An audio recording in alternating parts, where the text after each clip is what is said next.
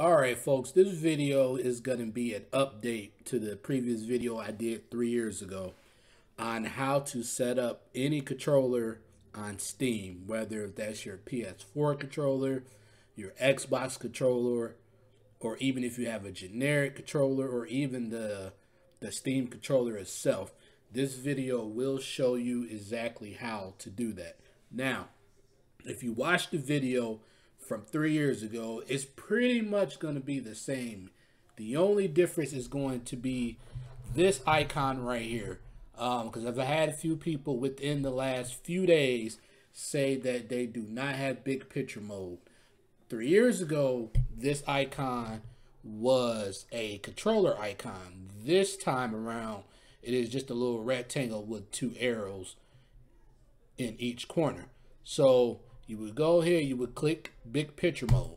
And you're gonna get this little animation that comes up, uh, letting you know that you are in big picture mode. So once you are in big picture mode, you want to go up here to this gear icon. This is pretty much your settings.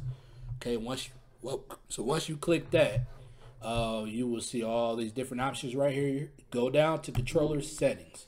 Now, before you get to this point, okay, likely the controller you have is going to have a USB cord attached to it, come with it, what have you. Make sure that is not plugged into the computer. Do not plug it into the computer yet when you get to this window.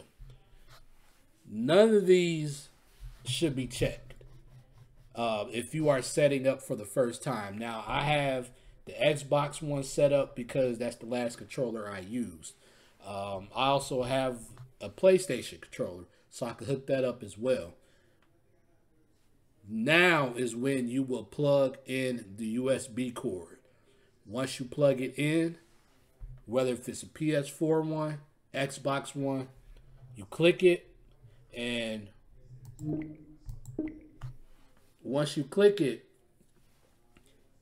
it should, if you have it plugged in, it will ask you if you want to identify it or you want to calibrate it. Um, when you identify it and you click it, it'll vibrate for you, letting you know that it is detected. Uh, once you do that, you pretty much can back out of it. Uh, you can um, go to the game of your choosing. So let's say you go to your library. Let's say I play American Truck Simulator quite a bit. So if I want to set up my controller for American Truck Simulator, I will go to Manage Game. I will go to Controller Configuration.